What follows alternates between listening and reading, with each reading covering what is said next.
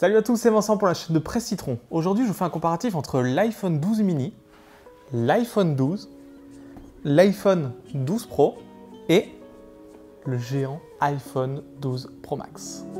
C'est parti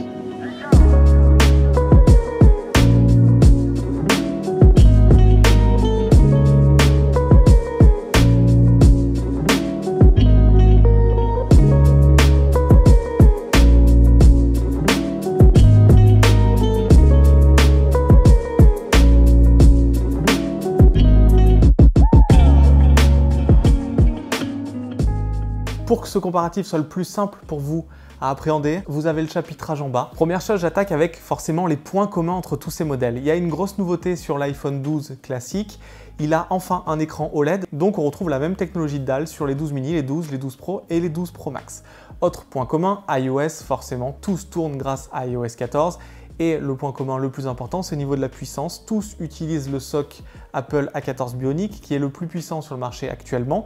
Il y a une légère différence de RAM entre les modèles 12 et les 12 Pro et Pro Max, mais à l'utilisation, il y a vraiment zéro différence. Tous sont ultra rapides. Peut-être que dans 4-5 ans, on sentira la différence entre ces modèles-là, mais dans les faits, tous ces iPhones sont méga rapides. Pour le reste, vous avez exactement la même chose dans la boîte.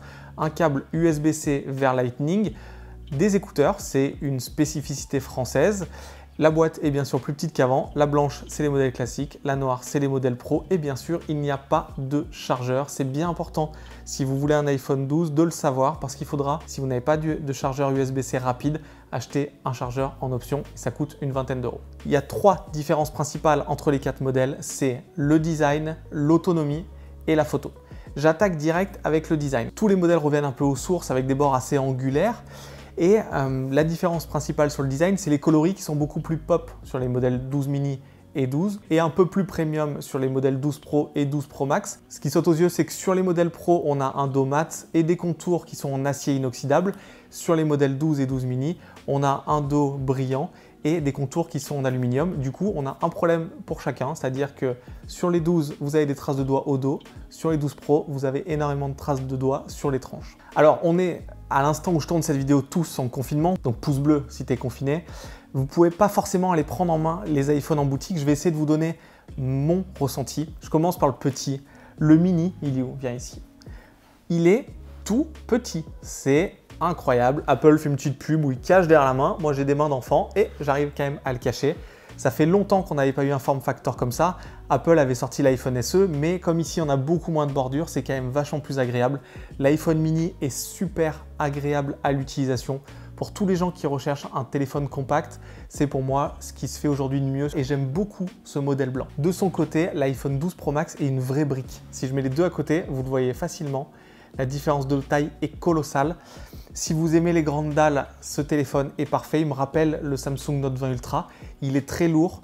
La sensation en main est encore plus importante que sur l'iPhone 11 Pro Max parce que comme les bords sont angulaires, vous n'avez pas ce petit côté incurvé et du coup, c'est vraiment très solide quand vous l'avez en main. Pour moi, en tout cas, c'est un téléphone qui est trop gros. Je finis avec les deux modèles du milieu, donc le 12 et le 12 Pro. Pour moi, la prise en main est parfaite. L'écran est surtout ça, c'est un écran magnifique, même s'il y a toujours cette encoche. Quelque part, c'est des quatre modèles bah, c'est ces deux-là que je retiens sur la taille de l'écran et c'est entre ces deux que je vais choisir mon smartphone principal. Vous verrez en conclusion que pour moi, c'est vraiment le meilleur combo de toute la gamme. Deuxième gros point de choix, c'est la caméra. Alors je vais essayer de faire le plus simple possible parce qu'Apple a beaucoup, beaucoup, beaucoup insisté sur la partie photo et vidéo en montrant des différences majeures avec les versions précédentes et entre le modèle Pro Max, le modèle Pro et les iPhone 12 et 12 mini. Vous allez voir qu'au final, pour moi, la différence, elle n'est pas si grande que ça. On retrouve sur les quatre modèles trois capteurs qui sont quasiment identiques. Le capteur selfie est le même, l'ultra grand angle est le même, le grand angle est le même sur le 12, le 12 mini et le 12 Pro. Et le 12 Pro Max se différencie par son capteur qui est environ 50% plus grand et qui est stabilisé aussi. Ensuite, dans les autres différences, les deux modèles Pro ont un zoom. Pour l'iPhone 12 Pro, on a un capteur optique x2 et pour l'iPhone 12 Pro Max, on a un capteur optique x3. Autre différence entre les modèles 12 et les 12 Pro, la présence d'un capteur LiDAR qui va améliorer déjà tout ce qui concerne la réalité augmentée, mais aussi améliorer le focus, surtout en mode nuit. Autre chose en plus sur les modèles Pro, mais ce n'est pas encore disponible dans iOS, il faut attendre une mise à jour, c'est l'arrivée de mode RAW en photo et en vidéo. Si vous ne savez pas ce qu'est le RAW, n'achetez pas d'iPhone 12 Pro. Entre les 12 et les 12 Pro, c'est vraiment le zoom qui va faire la différence. Donc grâce au zoom optique, vous allez pouvoir faire des zooms de meilleure qualité. Tout est traité au niveau numérique sur les iPhone 12 et 12 mini.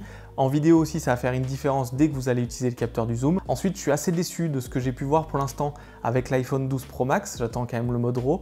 Mais cette stabilisation, elle marche bien. Mais quand je marche avec un iPhone 12 Pro et un iPhone 12 Pro Max, je vois pas trop la différence entre le capteur stabilisé et non. Et à part sur des petits détails en basse lumière, le capteur plus grand sur le 12 Pro Max n'est pas si différent que celui du Pro. Et voilà, en fait, le choix, il est assez simple. Si vous êtes un vrai professionnel de la photo, rien que le RAW qui va arriver va vous faire pencher pour le Pro. Mais pour moi, pour la plupart des utilisateurs, si vous n'avez pas besoin du zoom, on verra tout à l'heure que en fait, les modèles 12 sont vraiment une excellente alternative et il n'y a pas un gap si fort, par exemple, entre le 12 et le 12 Pro au niveau photo. Le dernier vrai gros point différenciant entre ces quatre modèles, c'est l'autonomie. Et en fait, c'est assez simple. Le petit, il a une petite autonomie. Le moyen, il a une moyenne, voire bonne autonomie. Et le gros, eh ben le gros, il a une grosse autonomie. À l'utilisation, l'iPhone 12 mini, pour moi, est pas au niveau de ce qu'on peut attendre d'un téléphone à ce prix-là. On revient à ce qu'on avait pu connaître, par exemple, avec l'iPhone 10, qui était pas du tout bon au niveau d'autonomie. Ça s'était amélioré avec le 10S. Et en fait, vous tiendrez la journée, mais limite, limite, il va falloir dans tous les cas recharger le soir. Si vous avez une utilisation intensive, et il faudra recharger en début de soirée, voire, et là je rejoins Romain là-dessus qui a fait le test écrit de tous ces modèles, il faut avoir le chargeur sur vous, sinon sur une journée ça peut vous faire défaut. Le 12 et le 12 Pro ont à peu près la même autonomie, elle est bonne pour ce format, vous ferez largement la journée.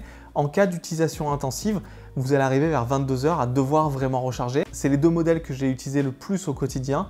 J'ai jamais été mise à défaut.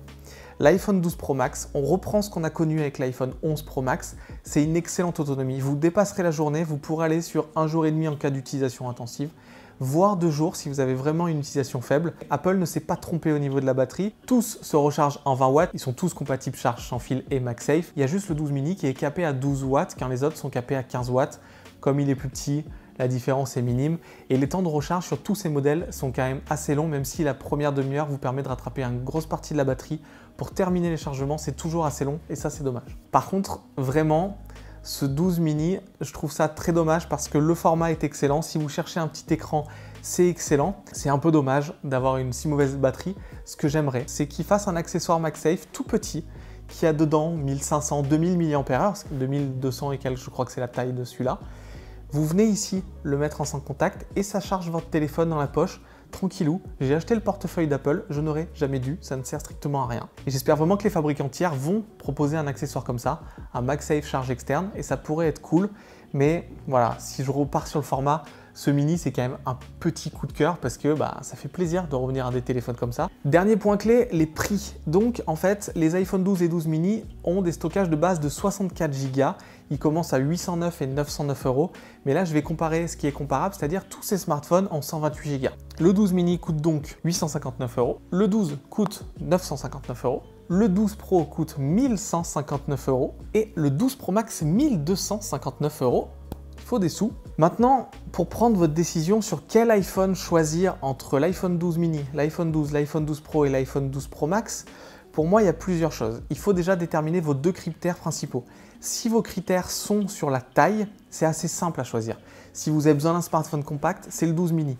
Vous aurez d'excellentes photos, Certes, l'autonomie n'est pas bonne, mais vous prenez votre chargeur et vous avez ce qu'il vous faut. Si vous voulez un énorme smartphone, l'iPhone 12 Pro Max est clairement l'iPhone qui est le meilleur sur toute la gamme Apple. Il a la meilleure autonomie, il a les meilleurs capteurs photo, il a le meilleur écran, donc c'est le top de ce qui se fait. Maintenant, il y a le critère prix qui est très important. Et je vous l'ai dit, à stockage égal, il y a 300 euros d'écart entre le 12 mini et le 12 Pro et 200 euros d'écart entre le 12 et le 12 Pro. Faut vraiment vous poser la question de est-ce que j'ai besoin d'un zoom optique ou non? Et est-ce que j'adore les couleurs de l'iPhone 12 Pro? Parce que ce sont les deux seules différences. Pour moi aujourd'hui, le meilleur rapport qualité-prix sur la gamme iPhone 12, c'est l'iPhone 12 de 128 Go.